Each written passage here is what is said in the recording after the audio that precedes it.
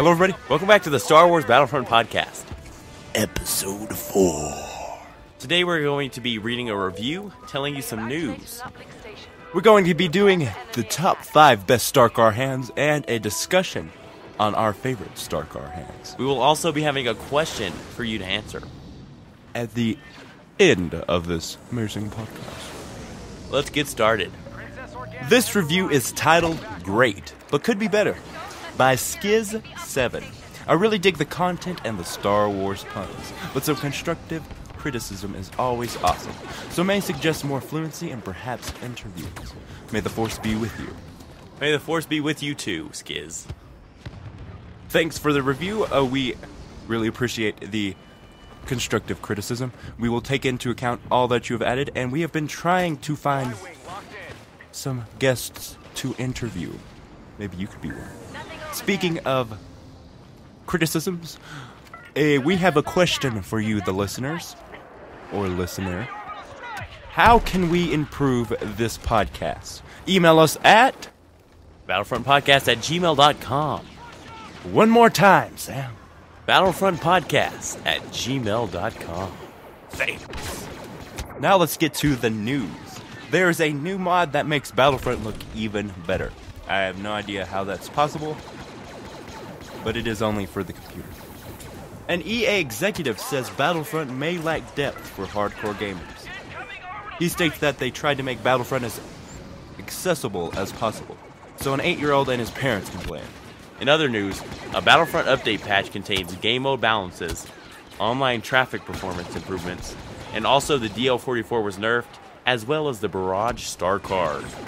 That kind of stinks about the DL44 because that's my favorite weapon, but I still use it even though it's a nerf. Because we pre ordered the Battlefront game, so you get early access to the DL44 so you don't have to rank up. I think it's level 40 you have to. Yeah, 30 to I mean, rank 40. Yeah, rank 30 to 40. I was really surprised that they nerfed the Barrage star card because it was super popular, but it's probably because it was so popular and powerful that Yeah. it got there. It was really powerful. It shot three grenades out of it and blew up in succession. So if you are near that vicinity, you would be dead. I was actually thinking of getting it before I heard the news because I love the barrage. Now let's get to the top five star card hands. Now let's get to the a hole setup. But for the sake of this podcast, we're going to be calling it the troll setup. It has the thermal detonator, the explosive shot, and the impact grenade. So I really like the uh, impact grenade. We actually have it in our star cards currently.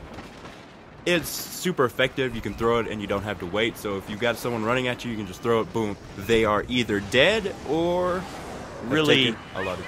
They are either dead or Really- a lot of damage. They're really Han Solo. Ha ha. Effective on maps like indoor, the smaller indoor map, because you have so much indoor areas. We're not going through that pun again. Well, indoor, indoor. We've already Right. named the podcast that. Well, Sage was playing multiplayer. Um, actually, today on indoor, I think it was cargo, and he was getting wrecked by a guy who had explosive shot. I I got killed by this guy. Half of my deaths. That guy was a beast. And I think he had this set up. Uh, because he killed me with the explosive shot many times. And once with the impact grenade. It's just so annoying. You're like, come here, come here. And then they shoot you from far away or even close to you. And then you die because of explosives. I don't really like the thermal detonator, to be honest. It takes too long. yeah, you throw it, they can run away from it, they're alive. But one time, Sage was getting killed, and then he threw it right before he died, and the guy literally walked over to it unsuspectingly and blew up. Yeah, that's the good usage for it. Sam, what's the next one? The next star card hand is the anti-vehicle setup. It comes with an ion torpedo, ion shot, and ion grenade. There's a bunch of ions in there. Which ion, if you didn't know, is the most effective against vehicles. Like, you can't even use the ion torpedo on uh, people. You can use them on vehicles, I mean, which includes the tur- the turrets. I've made a that mistake many times. Like get the ion torpedo out, aim it at the guy. It's perfectly on them. Try to pull the trigger, and I can't use it. The reason we had the ion crap is because it came with the pre-order Yeah, it came with both the ion torpedo, and torpedo ion. and the ion grenade. I hate the ion grenade. It sucks. it takes so long, I you throw it, it takes about 15 seconds to explode. and by the time 15 seconds is over, you're dead, and the guy's over by your body, celebrating. This is what I always do. I throw it and then wait for like 10 seconds. I'm like, okay, I still got some time. I walk over to it and then it explodes and kills me. It happens. It happened to me like five times. We used to have this exact hand, but we couldn't use it because we've been ranking ourselves up before we play the vehicle modes, And plus, we're mostly the Imperials, which stinks. which actually is good. Not on hero versus villain. Debatable. Okay, Sage, what is our next star card hand? This one's called the Long Range Threat. It contains the Pulse Cannon, Focus Fire, and the Homing Shot. This is a good matchup for open maps like Hoth or Tatooine. You can stand on the cliffs or mountains and snipe to your heart's content. When, uh, when you kill everybody, they get this faraway shot of you standing way out there, and then they start cursing and throwing the remote all over. It's very rewarding. I really like this star card setup, especially with the pulse cannon, which one shots if you have it charged up a certain amount. I don't believe it one shots honor guards, which is rebels which spawn on Princess Leia, or shock troopers that spawn on Emperor Palpatine. Homing shot, I've watched videos and they said it needs to be nerfed, which if it locks on you, it one shots you. Yeah, it's way overpowered. Focus fire, I guess it's okay. I'm not really a big fan of it. I really like it. It's good for a far away, which is why it's in the long range threat. I'm surprised the long range threat doesn't have the cycler rifle. I think the reason is that is because it doesn't have much range to it. It's mainly a close up rifle. I think it's actually really good long range, especially if you have focus fire activated. Yeah, that's that's pretty good. I actually tried that strategy, but it never works out. For some reason, I can never shoot the freaking guys. We have this weird thing with our remote. I'm about to call. I'm going to call Sony about it. It's like our controller has a mind of its own. It's it'll possessed. press. It, it'll press buttons that we're not even around. Yeah, I was playing multiplayer, not like the multiplayer on battles, with my brother, and out of nowhere, I accidentally throw my thermal detonator. I did not want to do that. And our friends that were playing it had some trouble with it as well. It's so annoying. So anyway, let's not get sidetracked and let's go to the fourth star card hand. The next star card hand is the flanker, which includes scout pistol, scan pulse, and jump pack. This is a good matchup for indoor. But we've never. The never bigger map of indoor. we've actually never used a scout pistol before. We are able to buy it, but we've we've always been just saving it for saving our money for other stuff. Because we recently just upgraded the jump pack. And we've got only like 986 credits. Yeah. Then the rest of our credits we use on basically thermal detonators, impact grenade, stuff like that. Well, anyway, This is how you use this setup. You're going to get into the Ewok scaffolding. You're going to use your scan pulse to find the enemies. You're going to jump down, use your jump pack, get to the side of them. Pow, pow, pow. You've just killed four people using your gun and your scout pistol. I didn't see those four people. I think this is a good hand, especially with the scan pulse and jump pack. As I said, I'm not familiar with the scout pistol, but I'm guessing it does a lot of damage. So on to the next one. This is the tank. It comes with a cycler rifle, personal shield, and the pulse cannon. You use your personal shield to get away, run through everybody, turn around, pow, pow, pulse cannon, recycler rifle, pow, pow, pow, pow. Recycler rifle? Be green, everyone. well, anyway, the cycler rifle is automatically good, and the pulse cannon, Epic. Once you charge that bad boy up, one shot, one shot, one shot. to charge it up, you hold down the Trigger button. right trigger. The right trigger. Now let's discuss our favorite star card hands.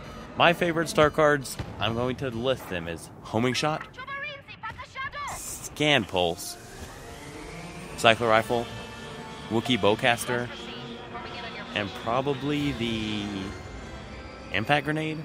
Well, I like all of these star cards, and don't show me something that I didn't know.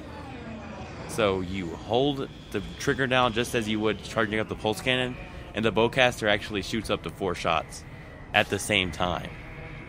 That's crazy. So if you're getting attacked with a lot of soldiers from the front, you can charge that up and kill them all at once. I thought the bowcaster was crap until I saw that. So my favorite combination currently is the scan pulse, impact grenade, and jump pack. I probably replaced the impact grenade with the bowcaster, but we do not have that unlocked. Imperial forces Yeah, you have to be ranked with 31. I think it's ranked 40. Think it's 31. Okay, 31. Okay, Sage, now let's talk about your favorite Star Card hands. I obviously like the jump pack. I like the focus fire. It's really good. It stabilizes your gun, which you need with the DL44. And then finally, the pulse cannon. That's my preferred hand, but I would probably need some explosives in my star card hand. If you want to tell us your favorite Star Card hands, email us at battlefrontpodcast at gmail.com. or tweet at us tie dye sheep yt and our question for this week is what is your favorite blaster and then just a reminder how can we improve this podcast First, let's talk about our favorite blasters for this week. dl44 I actually would go for the DL44. I'm kind of liking the RT97C. that is a beast Apparently, it got nerfed. but it's still a beast even with the nerf I would actually tried out the DH17, which we purchased, because I was getting wrecked by that gun. and it's not that good Yeah, it wasn't as good as I thought.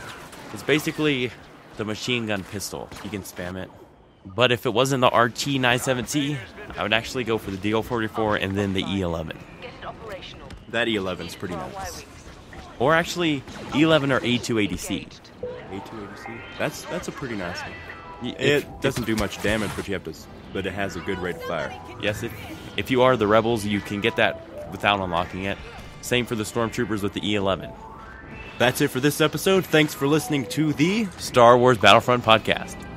If you would like to be featured in this podcast, please Leave a review on iTunes or tweet us at, tie dye sheep or email us. At battlefrontpodcast at gmail.com. If you feel you would give a good perspective on the podcast, we are open to special guests. Email us if you are interested. May the force be with you. Always.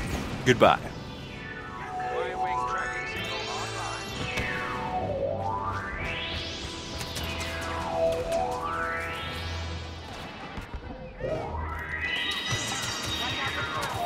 Recycler rifle? Be green, everyone. Yeah.